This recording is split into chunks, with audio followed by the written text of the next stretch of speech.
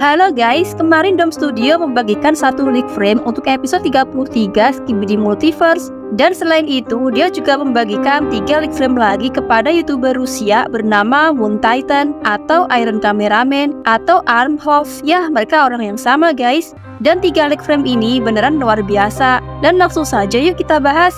Leak frame pertama nampak Skibidi Scientist dengan muka serius dan dia lagi melihat sesuatu. Dan badan scientist ini juga sudah di-upgrade guys, kayak dia benar-benar sudah siap untuk perang dan ngadepin para agen yang akan segera menyerbu markas Skibidi B1. Dia juga punya dua laser acid hijau di kiri dan kanan, juga dua magnet pasti untuk menghadapi para clockman. Di bagian depan ada speaker yang gede banget dengan empat laser dan ada laser lagi di samping kepalanya. Di bagian bawah ada layar berwarna biru mirip seperti yang ada di ruangan scientist di original seriesnya. Dan dia juga punya kaki laba-laba yang sama, tapi ada tambahan roda guys.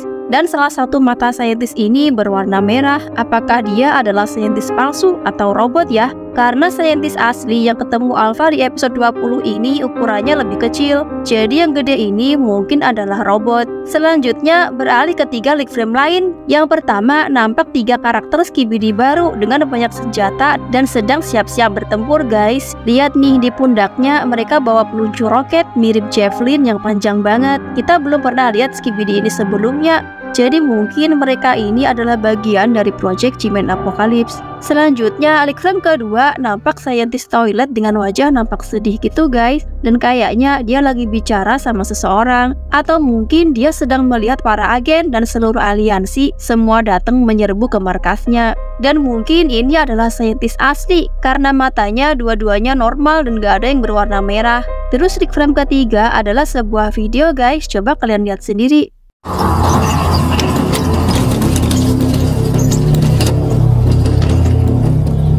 Di video ini nampak Skibidi lagi berjalan dengan kursi roda. Di bagian depan nampak toiletnya berwarna hitam dan di samping juga ada dua layar berwarna biru yang sama seperti milik scientist di leak frame yang pertama tadi. Tapi sayang mukanya nggak kelihatan dan dia nampak akan memasuki sebuah ruangan. Dan Skibidi ini kemungkinan adalah asisten Skibidi scientist karena mereka punya layar project biru yang sama. Atau bisa saja ini adalah Skibidi Scientist sendiri. Dan mungkin dia sedang menuju ke ruangan tempat Jimen sedang di-upgrade.